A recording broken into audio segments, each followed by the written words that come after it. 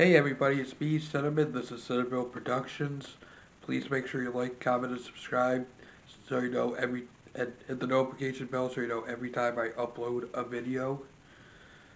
You might notice I'm in another new location. That's because I'm actually filming this while I'm waiting for the last videos to get done, which is the cooking, I believe, believe the cooking video where I made the meatloaf.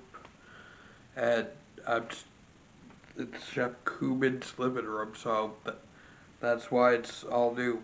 I figure I just come up, give you this short little story about the job that I had when I was 15. I wasn't legally even old enough to work. You had to be 16 to work there, but my mother worked out there for years. So they took her word and, you know, talked about let's allow the past, so it's actually the carnival. This year, I actually, that particular year, I worked in Kittyland on a ride, which was the slide, which they uh, my whole job was to collect tickets and hand out potato sacks to the kids so they could come sliding down on them.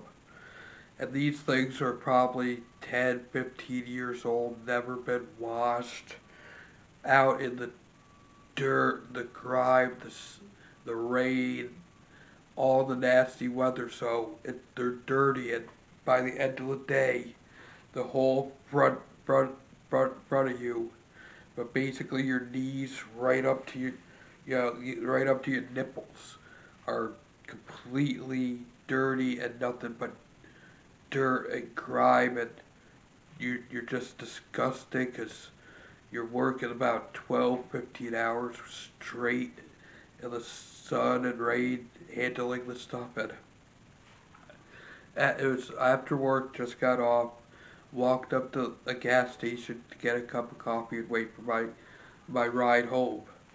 I'm outside drinking my cup of coffee, and this nice little old lady comes walking by, just shoves a shoves a dollar in my cup, and I nicely said, "Ma'am, I'm not actually homeless. Uh, I I actually work right over there at the fair. I'm just dirty from working all day." She's like. I am so sorry. I thought you were hopeless. Keep the dollar. I know they don't pay you, you know, pay you enough. They only pay you peanuts. I'm like, thank you so much. And yes, they do pay us crap. And we, eh, both of us ended up looking at each other and busting up laughing at just the hilarity of, you know, the whole situation. Her thinking I was hopeless when I was just getting done with a long day's work. I don't know if any of that actually, anything like that actually happened to any of you.